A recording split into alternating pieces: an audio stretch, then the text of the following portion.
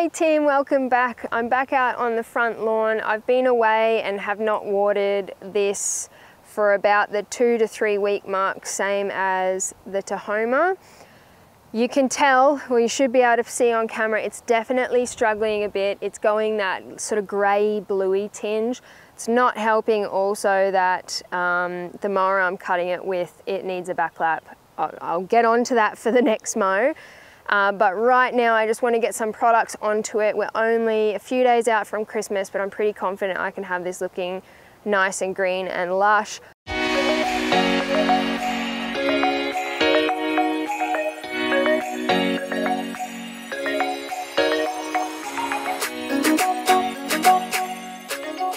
Um, so this needs a drink more than anything. That's what it will benefit from. But I'm also going to apply these two products today. Um, so you've seen me apply TriSmart before. So this is the soil wetter, this is the surfactant um, from ICL. I don't think I've talked through it. So it's called TriSmart, tri meaning three, because it's got um, three surfactant technologies in the one product. So the product is a penetrant, so it'll make sure that whatever you're applying, whether it's water, whether it's another product, it'll get down into the soil surface and through that hydrophobic layer. Um, so that's first and foremost a penetrant. Second, it's a dispersant. So it makes sure that when you actually spray it out and whatever product goes down, again, water, whatever, you, whatever you're putting with it, it'll actually go through the soil evenly. So you're not gonna have like patches of soil that are taking on water really, really well and then patches that aren't. So it makes, makes that disperse evenly. And then the final thing it does, and the thing that I really like, um, is it retains moisture in the soil for longer as well. So those are the three things that this product does. Really worthwhile product um, if you're looking into it. I've used quite a few soil wetters and this one's got to be right up the top of my list. Um, it's funny, the first time that you apply this, you've got to actually up the application rate. So when you read the application rate of this, I think the first application is 250 mil per 100 square meters, which is quite high. Um, that's actually on par with other soil wetters. They're about 250. Some, I think some of them go up to 500 mil. Um, but that is only for the first application. So from that point after, once you're on the TriSmart program, it's just 100 mil per 100 square meters, which is a nice low application rate. Again, um, have a look into value, do some maths, and you might find, or you probably will find, um, that in terms of value for money, pretty good, will last you quite a while. The second product I'm putting out today is Blade, part of the, I think it's Vitalnova range.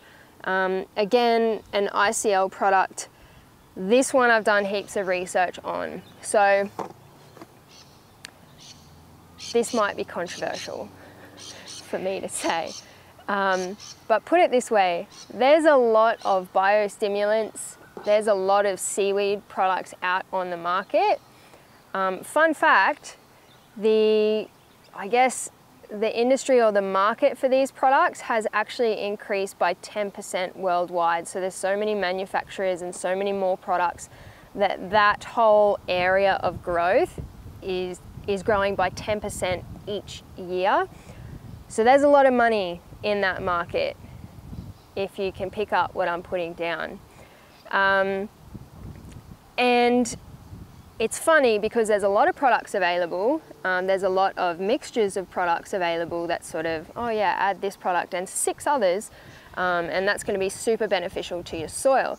And I guess that market has come about because turf managers have sort of realized that you're not just after growth of the turf for it to look good, you're actually after uh, healthy soil. So there's a lot of products out on the market Without going too far, what I will say is that very, very few products actually have any legitimate research or data behind them. Um, and they make a lot of claims. There's like, it, they're sort of seen as like a silver bullet type product, like it's going to fix everything in your lawn. Um, and I think what you'll find on most of those products is the people making the claim uh, is the company selling the product. I mean, I'm not jumping to conclusions. I'm just taking small calculated steps and conclusions are there.